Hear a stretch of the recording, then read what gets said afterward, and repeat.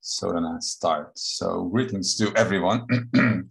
uh, my name is Levente Mészáros and I'm one of the INET core developers. And I'm going to do a presentation about TSN time sensitive networking in INET. Uh, you might remember last year I did something similar, but it wasn't actually time sensitive networking. It was the infrastructure for time sensitive networking. But uh, this year we are actually focusing on the, the TSN features. So I'm going to do this presentation with lots of live demos. So I'm not, not going to make this full screen because I would, otherwise I would have to switch back and forth. So it's just easier this way. So just a little bit background, but uh, I think most of you are already familiar with this because there was a lot of TSN related stuff this in the summit. So it's based on the 802.11, 802.1, sorry, standard. And NIDA is the most important uh, areas where it's used in the in-vehicle networks, or it's supposed to be used in the near future, and also in smart industrial uh, settings. And the goals are basically that uh, you don't want to have too many packet losses, ideally not, no packet losses at all, and bounded latency. So it doesn't have to be, uh, the latency doesn't have to be very small, but it has to be bounded with very little uh, variation and uh, often fault tolerance is also uh, important requirement with implemented redundancy. So in this presentation, the following topics will be covered. Uh, well, since it's called time synchronized, uh, time uh, sensitive networking, the most important part is, is having uh, a local time because you can't rely on the simulation time. The reason for that is in a real network, the simulation time, which is you could think of the global physical reality, time of the global physical reality is completely unknown. So you have local clocks and all those clocks can have all sorts of problems. They can just uh, go out of sync and things like that. So we have to have some kind of time synchronization.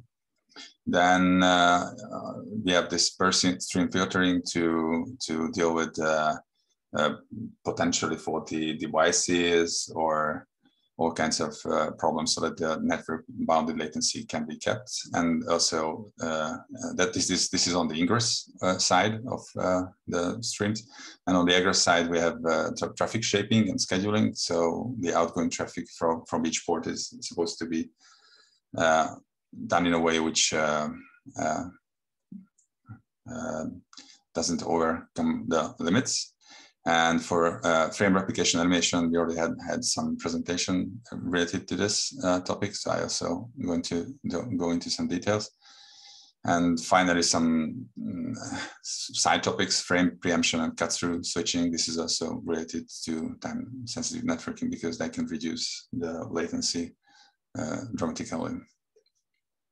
So The first topic is uh, time synchronization. So the way it is implemented in INET, it's just a standard INET application. You can put the time synchronization application into any node or switch.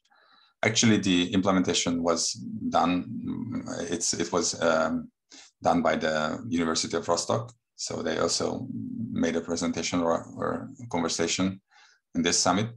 So this uh, code was ported from their repository uh, we have uh, master region and station network nodes, predefined network nodes, but you can, as since this is a standard application, you can use this any in any network node.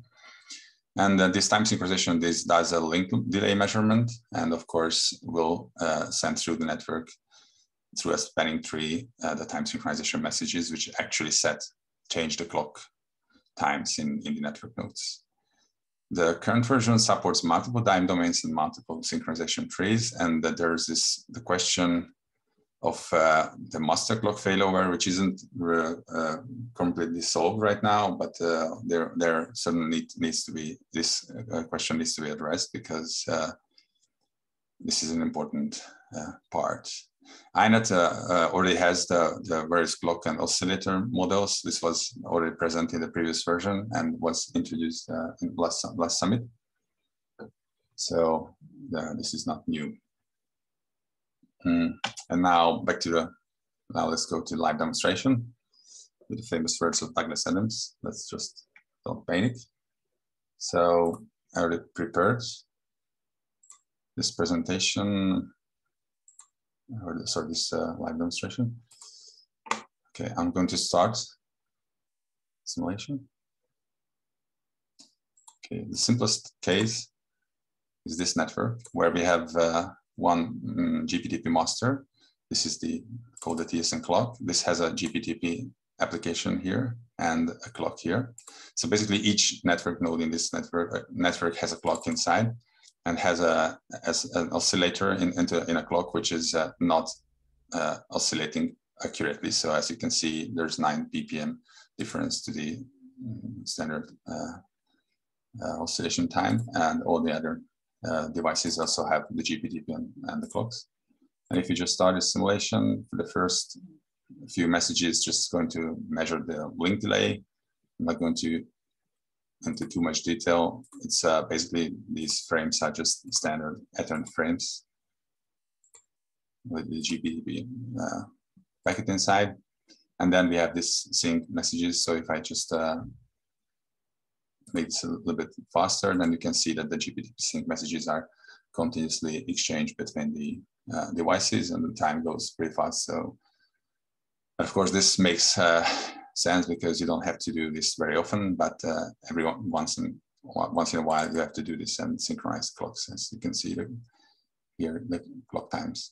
So basically, what what it means that every device here has its own local time. So if it has an application or if it has an uh, that is dependent on time, like uh, sending packets every uh, few milliseconds or seconds or whatever, it is based on the, the time measured by the clock. So it's not based on the, the simulation time, but on the, on the local clock time. And it's also true for gate scheduling. So the egress gray gates in the, in the, in the switches, as you will see later, uh, can have gate scheduling. So the gates can open and close according to some time-based schedule, which is also based on the uh, synchronized local time.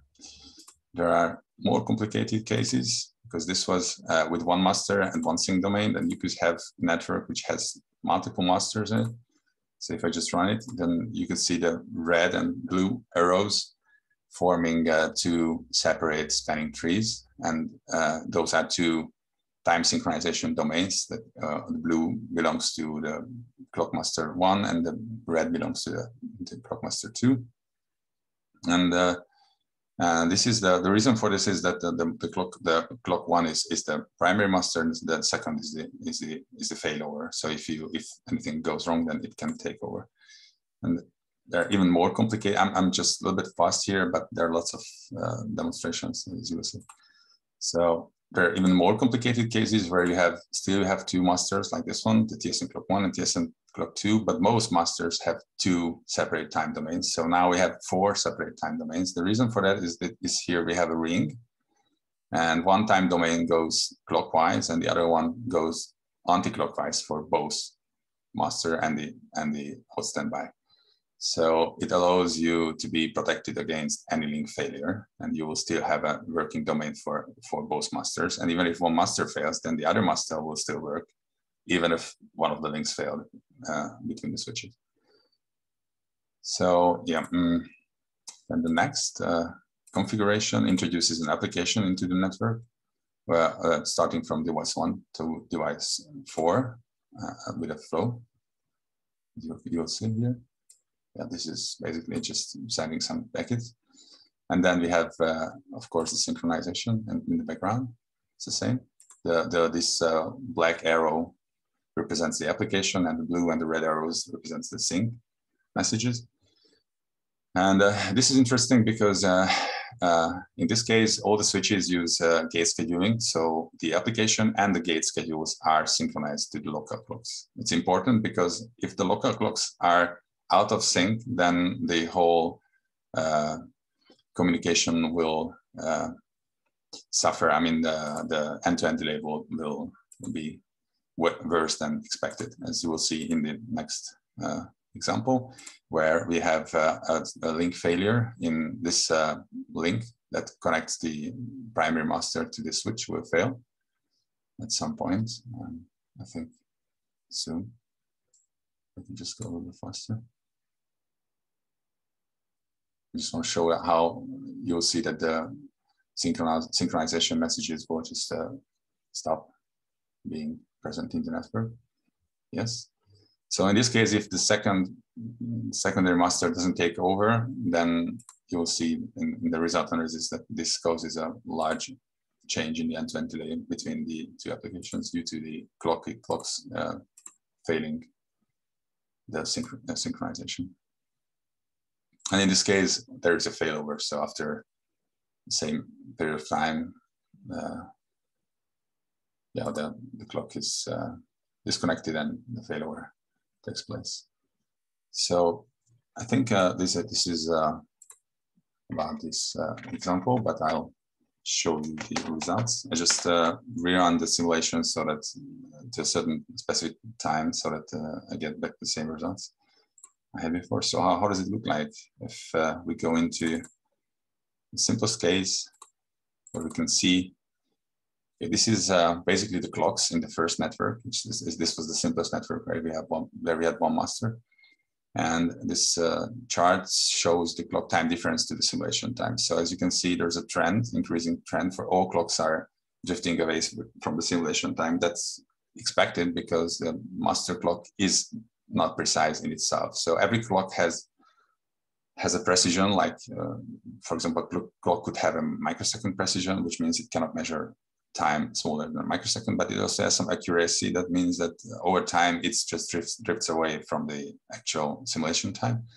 And the other clocks that you see here is, is uh, show how they they even drift further away from the master clock, but get synchronized every once in a while. So that's why they're this sawtooth kind of chart here. And the same goes for the more complicated cases, but uh, only, only for instance, basically there are, there are more clocks. So it's not, uh, so yeah, there are two master clocks here. And if you look at the device clocks, then the device clocks are numerous because every device has multiple clocks and so on and so on.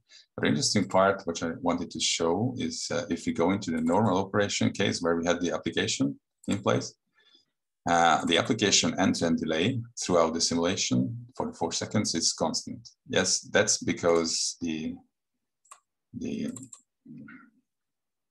the clocks in the in the network are synchronized to the primary master clock. So the difference between the all the clocks in the network is always below a certain limit, which uh, doesn't cause any problem in the synchronization of the gates and the application and so. But as soon as you have a link failure, like in this uh, case. What you see here is basically, uh, there's still this trend, but it seems to be very small because at some point the master clock is disconnected and all the clocks, which was previously synchronized uh, every once in a while, to the master clock is, are no longer synchronized to it. So they just drift away from each other. And after a certain period of time, it's going to cause the application end-to-end -end delay to increase dram dramatically and the reason for that is, is this uh, gate scheduling, which is a periodic gate scheduling. So once the delay, uh, once the difference between the clock times is large enough, the packets would have to wait another period period in, in the switches. So it's, uh, it's a drastic uh, change because it's like uh, a millisecond delay, but it was a few microsecond before, before that. So if we have a failover, it's a it's an interesting thing. So it's as you can see that the, those clocks that belong to the uh, to the primary master are still not synchronized properly, but the clocks used by the bridges and the stations are, are different. So at the point of failure here, as you can see, the trend changes to a downward trend. The reason for that is that the secondary secondary master has a different clock drift compared to the primary master. The primary master was drifting away from the simulation time, so from the simulation time towards the positive values, and why the secondary master drifts away towards the negative values. And the net effect of this uh, failover is that the application delay stays constant. So it's still a very small value as in the original example. So I think, uh, yeah, if, if anybody has any questions, just feel free to interrupt me. So that's about the time synchronization part. Um, the next um, part is the per stream filtering and policing. So basically what we have in INET, we have this composable mechanism that uh, uh, we have a number of uh, queuing elements which you can use to build uh, various uh, modules. Yeah, like we have classifiers, meters, filters, and, and, and gates and stuff like that. And you can build a, a as, as I will show you a few, minutes, in a few minutes, uh, you can build the, the your uh, stream filtering uh, uh, components out of those uh, components. And we also need to uh, add new components like like these token buckets, chain token bucket buckets with overflow to to to be able to implement the stream filtering. They also have uh, uh, support for asynchronous shaping through this eligibility time uh, scheduling mechanism. I will show this too. So this is a different example. Hmm. This is the stream filtering. I'll just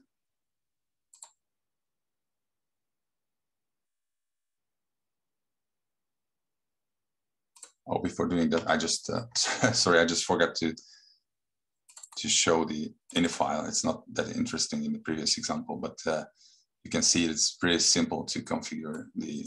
Basically, what you do is just configure the master and slave ports for the GPTP uh, time domain synchronization. So it's not complicated, and even the failover is pretty simple. You just disconnect the link and switch to to the uh, other active clock indexes. It's not automated. Currently, it's manual because the automated mechanism is not yet present. So I just forgot to show this, but so let's get back to the stream filtering. So in this example, we have this dumbbell network, and uh, in this dumbbell network, we have four streams. Uh, both clients talk to both servers, and we, in in this uh, in this link between the two switches, we want to to, to, to do stream filtering. So on the ingress, on the ingress side in both switches. So for that, we need to be able to identify the streams. So this is basically the configuration. You could have all sorts of um, uh, conditions here on the packets, how to identify the packets, that whether which which packet is belongs to which stream. So now we have four streams, as you can see here. And uh, those four streams in the filtering component are uh, put to four different passes, which have different uh, metering and filtering components, as you will see. So basically, if I run the simulation, it's just uh, quite simple. There some background, some video traffic interlink with each other. And if we go into the switch, there's this bridging component, which has a stream filter in it, which has an ingress stream filter, which has this uh, uh compound module, uh, and this module, basically what it does is this has, it has this classifier, which classifies the incoming uh, packets, which are already identified, which uh, stream they belong to, classifies them into separate passes, and they measure the using token buckets or some other measurement and filter the, the over, overflow out. And on the uh, outside, only the filtered traffic will pass through. I just show you that the actual decoding, stream decoding happens here because if you look at the frames uh, in the network, the network level,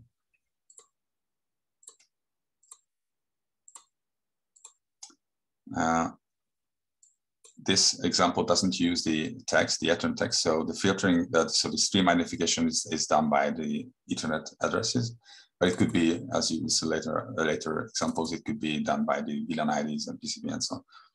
And uh, yeah, if I just uh, go here and uh, run a little bit the simulation, it's a bit slower.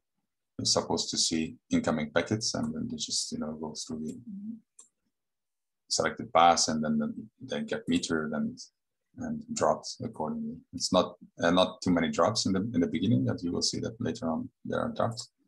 The reason for that is uh, the traffic. In this uh, example, is it's kind of weird because the inter-arrival time is uh, based on some sinusoid uh, function, so that uh, the traffic is sometimes too low and sometimes too high. So if I go into the stream, stream filtering example and we run simulations to, to get the expected results, then what I want to show here is so how does background traffic look look look in the in the ingress filter of switch one? So basically, this is the offer traffic that comes from the source, and this is the filter traffic, and this is the traffic that is dropped. So the filter traffic and the and the drop traffic sums up to the offered traffic. There's some burst here, which was uh, already, which was actually present in the parameters. So what is the committed information size and burst size? You could have, uh, there are other meters like uh, two rates, three color meters with access to excess information rate, and excess burst size and things like that. And it's true for the, independently true for the other streams. So it's uh, pretty much the same. It's this part is interesting because this is the second switch. So the ingress filter of the second switch doesn't actually drop anything. And the reason for that is basically is that they have the same configuration. So the stream is already filtered in switch one.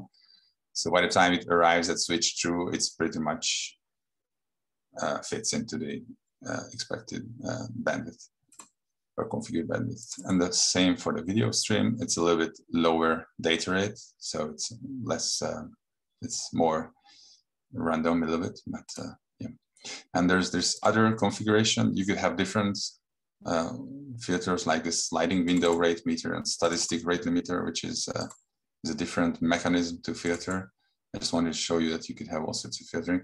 It's different in the sense that it's sometimes the the the traffic that passes through the filter is below the allowed rate, which is five megabytes, which is 40 megabits.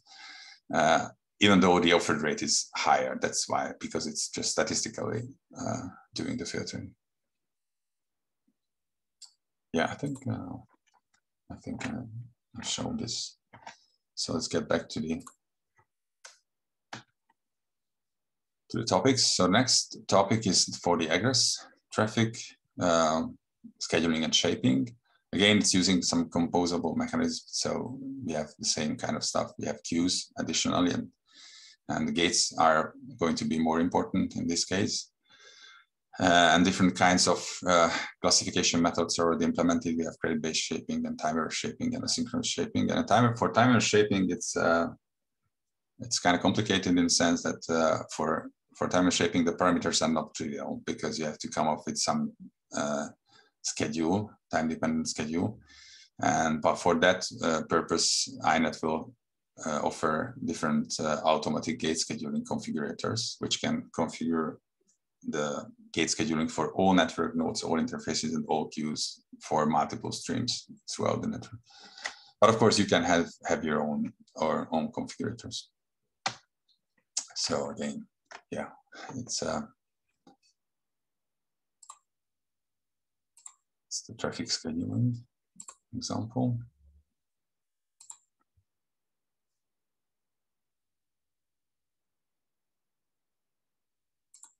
So the first one is the credit-based shaper. So it's not very interesting in the network level. What you see here is just uh, some packets passing through between the two, two nodes, two different streams. But uh, if you go into the MAC layer of the interface, uh, here's the shaper basically. And it uh, consists of, and for the credit shaper, it's quite simple. We have uh, just a standard queue and a special gate after the queue, which is called a credit-based gate. And the gate is basically can either be closed and open. Some of you are probably already familiar with this concept. So if it's closed, then basically what it means that this uh, queue cannot uh, be used for transmission. And the way it's closed and open depends on the amount of credits that it has, and uh, the amount of credits depends on whether if it, the the traffic that passed through that gate is actually currently using the the, the transmission channel because if using transmission channel then the number of credits will decrease over time. If it doesn't then it's going to increase there are other conditions and complications but uh, the basic idea is this for the credit-based shaper and uh, there's there's a time-aware shaper. It's a little bit, uh, it's very similar. I just, uh, I just want to show inside that um, it's very similar to the previous shaper in terms of structure, but we have a different gate here, which is, uh, which has um, this uh, uh, durations array, which is basically the, the, the open and close closing durations for the gate. So now they are configured to be open and close in tandem. So when one is open, then the other one is closed. And that allows to, to do some traffic shaping. I'll show the configuration later, but it's very simple. And the last one is the asynchronous shaper. which which does well, which is a little bit more complicated because it also involves uh, the ingress filter because uh, this is the place where what, what happens here is basically the, the incoming streams, the packets in the incoming uh, uh, streams have will have uh, assigned some uh, transmission eligibility time according to some computation, which will uh, later on in the shaper prevent the frame to be transmitted before it is actually eligible for transmission. The way it works is if you go into the queues, we have special queues here. It's not that special, just uh, uh, the, the, only thing that is special regard in them is that they have some uh, frame ordering and they actually order the frames according to the eligibility time tag on them. And if this eligibility time uh, is smaller than the actual uh, simulation time, then the following gate is open, otherwise it's closed. So it means that no frame can go out on the interface before the transmission eligibility time. So basically that's how the shaping happens. Uh, with respect to the configuration, I mean, well, I just run the simulations. So with respect to the configuration, it's not very complicated. We have the two applications and for the credit-based shaper is basically, it's that simple. We have some rate of gaining, gaining the credits and some transmission credit spending rate. And then for the time-aware shaper, we have this uh, durations when the gates are open and closed. It's the same, but one gate is open initially and the other one is closed. So it's the opening and closing in tandem. And the asynchronous shaper is the most complicated one, but uh, you know that one is not that complicated after all. So if you look at the results here, So in the credit-based shaper, basically the, the, the, traffic that goes through uh, from the source to the destination is uh, uh, the relative traffic is according to the to the relative uh, uh uh, credit credit spend rate. So it's it's actually working as expected.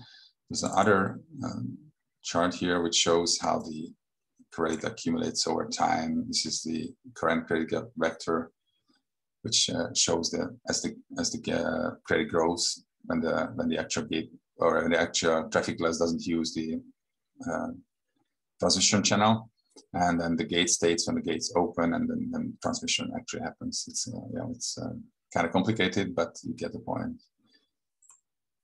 Uh, for the time-aware shaper, it's a little bit different. As you can see, that it's clearly shows that there's some time-related uh, division happening in, in the background. So for the shaping, so like you can see four, four packets go from one stream and two from the other. Uh, by the way, the, the input streams are completely uh, random, so they, there's randomness in it. Hmm. Uh, if you look at the gate states, it's uh, it's quite simple. One when one gate is open, then the other one is closed. So they're never opened both together. And for the asynchronous shaper, I have actually configured to, to for the two streams to be uh, uh, have the same uh, allocated bandwidth. So even though they are uh, randomly arriving and different, they just they just go out with the same rate. It's uh, it's interesting to see it's the it's the way it is this is the how the gates open and close. They are quite random but the out, output traffic rate is, is the same. And something that is very related to this traffic shaping as i mentioned before is the gate scheduling which is basically for the time-aware shaper you have to come up with some kind of schedule which you can do manually or you can alternatively you can use one of the configurators that uh, INET already contains. Uh, you know, in this network, uh, this is different network where it's uh, it's a in-vehicle network, but it's quite simple. We have four cameras and four wheels, each uh, producing some traffic towards the HUD, and these green areas basically they show the the upstream gates towards the HUD for the two different traffic uh, categories And the green arrow means that they are always open because that's what that was the uh, always open scheduler, which means that it's going to uh, configure a schedule which which opens all gates all the time. So it, it's not that interesting, but you know, packets go through. But there's this other uh, configurator which called simple or eager configurator, which is eagerly allocating the time slots for the frames. It computes that which frame arrives at which, which stitch switch from the stream what point of time and allocates the streams, allocates the gate scheduling according to this. This isn't a, a, an ideal solution. It's just a trivial solution which uh, can be useful for as a baseline. So as you will see that uh, as the time passes, these green areas which which indicate where the gate is going to open uh, go from right from the right to the left because the center is the current simulation time and to the right you see the future and to the left you see the past. And then we have uh, different schedulers, uh, uh solver based scheduler, uh, which is basically, well, it's not that interesting, but uh, I mean the result uh, on that, but I'll show it's it's a it, it generates a completely different uh, schedule. And we have another scheduler which is an external tool, which is called the TSN scale. I'm, I'm just not going to run this it's not that important. I'm going to show you the results. Um, just rerun the simulation. So in terms of configuration, we have the applications. It's not interesting. Yeah, and this is basically this is basically the configuration uh, configuration of the scheduling configurator. So it means that we have a number of streams from all wheels to towards the destination. What's the packet length? What's the expected interval? And what's the load max latency and stuff like that. And then the different configurators, you can just easily plug them in like this.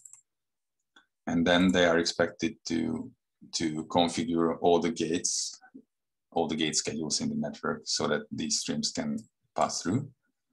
And if the configuration is successful, then you're going to have something like this. I just, uh, this is going to be a sequence chart, yes. And this uh, chart, you see the axes, each, each X belongs to one of the network nodes. Uh, well, the cameras are omitted for simplicity. And this is the case where the always open configurator was used. So as you can see, this is uh, all gates are always open and basically it's not ideal because for example, this frame has to wait before it gets forwarded because um, another frame is uh, transmitted in between. So, but um, if you look at um, not the SAT solver based, I wanted to show the eager one because the eager one is, uh, is easy to understand.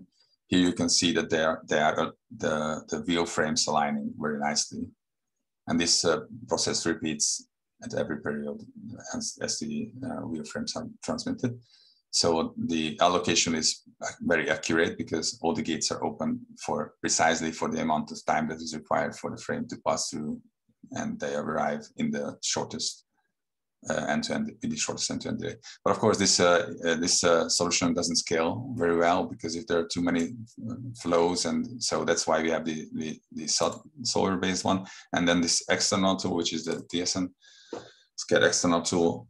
Uh, this is the state of the art. I, I would say that also capable of producing schedules for very complicated cases. But of course, uh, uh, the the schedule is uh, is kind of different different from from the ones that you saw here, because uh, since these solvers are not uh, uh, optimizing, not trying to find the optimi optimal solution, they just try to find a solution which fits with the with the maximum latency that is allowed. So any solution that that is good for the maximum latency is accepted. Um, yeah, mm, I think. Uh, I think that's what I wanted to show. Let's go back to the presentation. So the next topic is the frame replication elimination. This is the CB uh, part of the standard. This is a layer two uh, function, which is uh, basically consists of the following functions. So it has to somehow identify the incoming frames or uh, on each uh, uh, network node and based on the identified uh, stream, the stream uh, will be uh, merged or split, and uh, this will provide the redundancy. And uh, again, as with the with the gate scheduling, uh, there's two separate problems here. One is the actual implementation of the replication and elimination, and the other one is the as the is the configuration because the, doing the configuration manually for com, for a complex network for lots of streams and, and flows between uh, different nodes is very tedious, as you will see, because uh, because it, it requires a lot of configuration. So if I go here, I can just maybe start with the configuration. so here. So the manual redundancy, this is the first case where I manually configured each nodes in this network to, to, to do frame replication. So the first frame code comes in, this is source zero, and then gets duplicated in S1. The next frame is already coming from the source, but the first frame just arrives in S2A and S2B, and it gets again duplicated and so on and so on until it arrives at the destination. And this process repeats all over again. And if you just uh, run this simulation for a longer period of time, then the rate of packet arrival or uh, with the rate of uh, uh, the number of uh, successful received packets is lower than the number of sent packets sent. The reason for that is, is in this network, all channels have 20% packet drop. So we actually here we have some small Python scripts which calculate the expected result, the, the rate of successful receptions at the end, uh, according to this uh, packet loss scheme. And we can actually have this uh, result. But uh, before before showing that, I'll, yeah, I, I wanted to show, sorry, I want to show the, the configuration. So it's really complicated if you look at all the details here, what are the relay and stream coding and decoding and merging and splitting and lots of uh, configurations there. So it's very tedious. So there's this uh, stream redundancy configurator, which is the next config in this uh, example, which uh, does, does the heavy lifting. So actually all you need to do is say that there's a stream S1 that goes from source to destination. And it's supposed to go through these four passes. So these are just passes, basically uh, listing the network node names. And then the configurator will take care of configuring all the necessary components. This is a static configuration, so it's not dynamic. It's just uh, directly configuring the network components. And these black arrows show the result of the configuration, that which links will be used in which direction by the stream. And of course, if you run it, um, not surprisingly, you get the same result you from the first experiment. And then I also wanted to show a more complicated configurator, which I call the TSN configurator. This is a little bit more tricky because it's not only configuring the redundancy, but it's also configuring the gate scheduling for the redundant streams. So using the gate scheduling configurator. So as you can see uh, here, uh, here, sorry, I think I uh, remove this one. So the first thing it does, it finds four different passes uh, based on the based on the failure protection uh, requirements for the for this stream. So the stream goes from source to destination, and this failure protection means that any one node of this set can fail, and we expect the redundant stream to be still uh, be uh, working from source to destination. And then there's this link failure protection, which you could say that say that any one link of this set or any two links from this set. And this uh, link failure protection is kind of redundant for demonstration purposes, but basically the end result is that this configurator finds these four different passes, which was actually originally configured manually and then the second in the second configuration by the stream configurator also automatically. And again, the end result will be the same, except for, in this case, we also have this gate scheduling. So it's not just uh, the redundancy, but also the gate scheduling. So the frames will go through according to the schedule. It, uh, just slow it a little bit.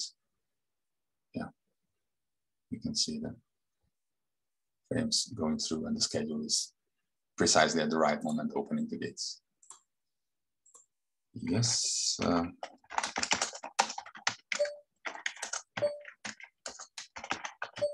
run the simulations.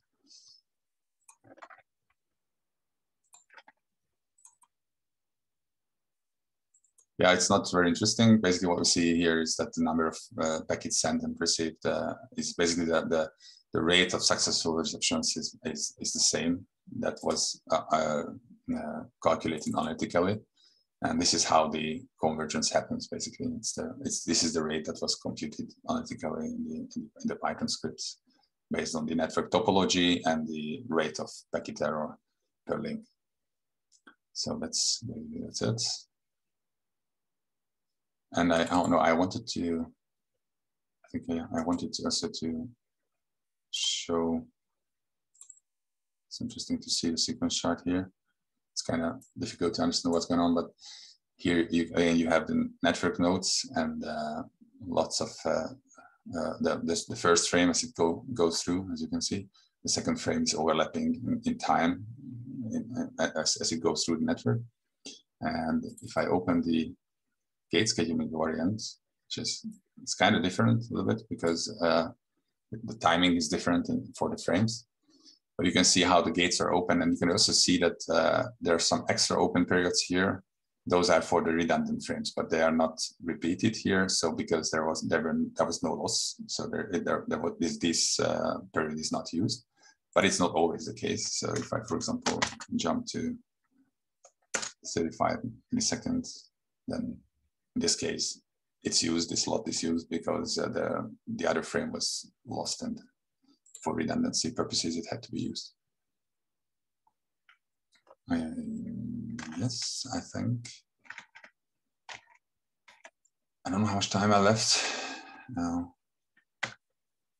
There's this last uh, part, which is uh, about the frame preemption cut-through switching. Uh, basically, the reason uh, for uh, um, frame preemption is to reduce latency by aborting the lower priority frame and immediately start transmitting the higher priority frame.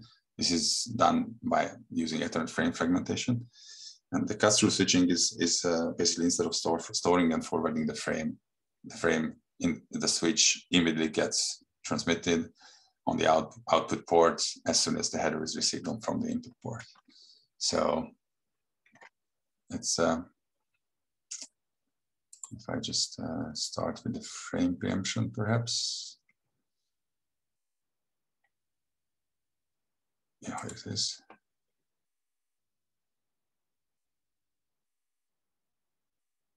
Again, this shows, uh, this example shows that the architecture is uh, quite flexible because here in the MAC layer, you see two uh, inner or sub-MAC layers. This is actually how the standard describes this. Uh, one is the preemptible MAC layer and the other one is the express MAC layer. So when I uh, run this simulation, this is the, what happens is basically, in this case, each frame is transmitted with two, two packets as Anders was mentioning yesterday. This is the update, packet update uh, feature of OMNeT being used here because when you interrupt the transmission, you have to update the packet because the packet gets truncated. And here you can see that part. And what you can also see, if I, sorry, if I go into, into the MAC layer here, it's uh, it's uh, internal. It's using packet streaming. The reason for that because uh, this uh, these uh, red lines means that the packets are not just simply being passed from one module to the other, but continuously being streamed from one module to the other over time so that they can be interrupted. And every once in a while, the express MAC layer will interrupt the preemptible MAC layer. And that means that the background traffic is interrupted and the high priority traffic is uh, transmitted instead. Yes. Uh, again, if we go just rerun simulation. It's very easy to see the difference between the normal operation and the normal operation is just the store and forward on the sequence chart because um, ah, sorry, no, this is about the frame preemption. Uh, yeah, here you can see that the time sensitive frame is just uh, being injected between the background frames. So it's uh, nothing special as you can see here. But for the frame preemption case,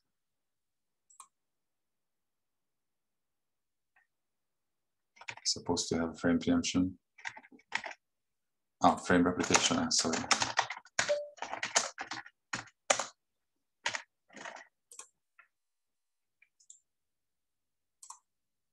Uh, here it is.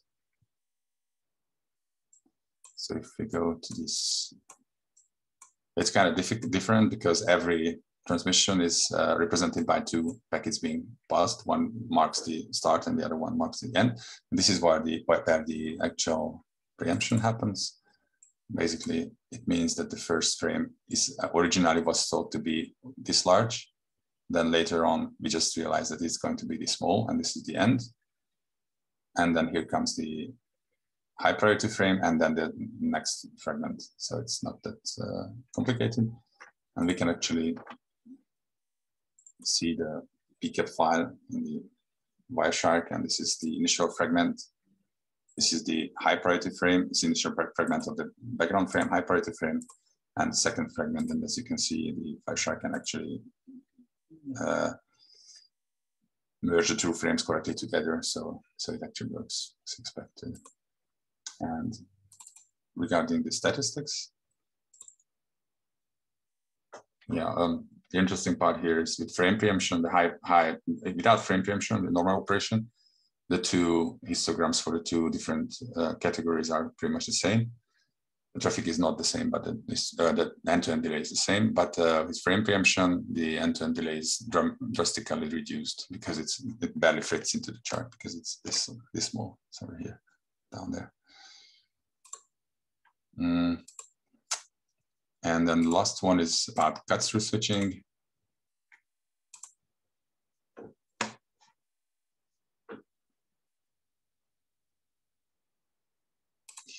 Where we have a simple scenario, which is the store and forward, where you can see that one frame is always stored by the switch before it gets transmitted to the output port.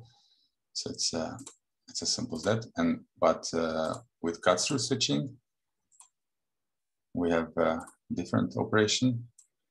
So the first frame basically goes through the whole, whole network. So it means that this frame is still being transmitted by device one while it is already being received by device two and it is being forwarded. So this uh, means this internally the packet is being streamed through this cut-through layer and things like that. So it's uh, it's uh, kind of tricky, but uh, you get the point. It's easy to see the results again in the sequence chart and in the statistic. Just rerun. Um, yeah, store and forward, there's no big surprise there.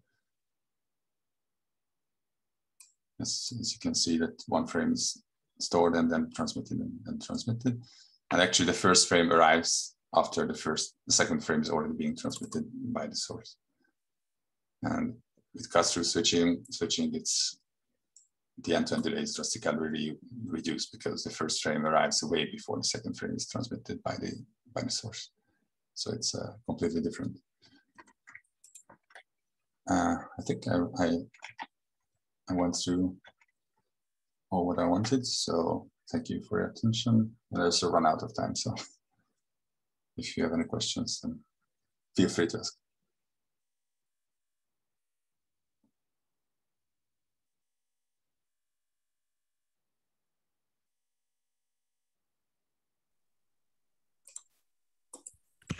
We are speechless. it was very long, sorry about that. Lots of. One thing I wanted to show you, if uh, if there is no question yet, which is uh, which might be interesting, is uh, how you could get these results from a sequence chart. Uh, for this purpose, I just copied one of the sequence charts because originally, if you open a uh, log file, is this, is not, not what this is. This is what you get because uh, this is the default. I mean, there are lots of um, stuff going on, But there are many options in the sequence chart and you can change many things, what is visualized and how and stuff like that. But there are presets. So if you select this preset network node, then it switches to the network node level of visualization. And then if I also change the timeline to linear, then we are getting close. Then I also filter out the camera nodes because I don't need the cameras, just the wheels. Then we are, oh, it's typical. See? Typical the demo, demo effect. That's why there was a don't panic. So, and then we also change the gate ordering so that the wheels are on top and the HUD is on the bottom and the rear switch because this is better in terms of layout. So we are getting close and we need some coloring for the message send. We can say, let's say all real messages are to be colored for, from the dark color blue. You could have lists here, but it's easier. And then we enable axis vector data, and or I already, ah, I think I, ah, that is, it doesn't work because yeah, because I was cheating. Uh, it's supposed to, I already pre-configured that uh, the gate opening and closing vector data should be the default to be displayed on the axis, but it doesn't work because this is a, a copy and there's no vector vector data uh, with the same name, so it doesn't work. But other than that, it's it's okay. It works. And uh, if yeah, these are the camera frames. They are much longer. Since this might be interesting.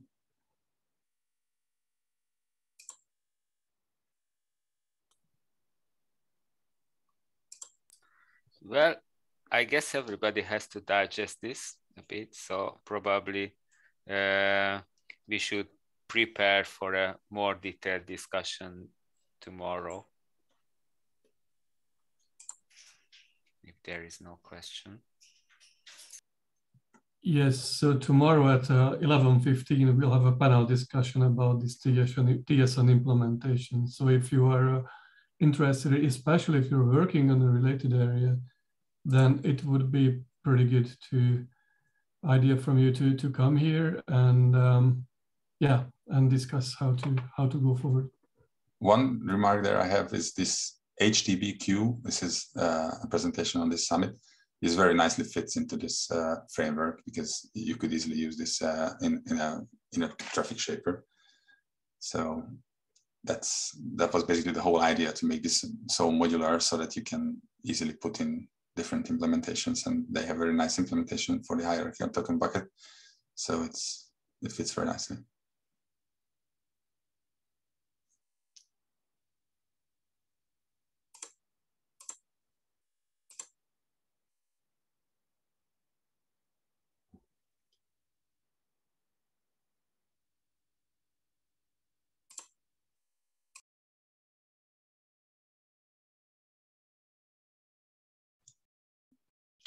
Uh, I have a proposal since uh, nobody's speaking.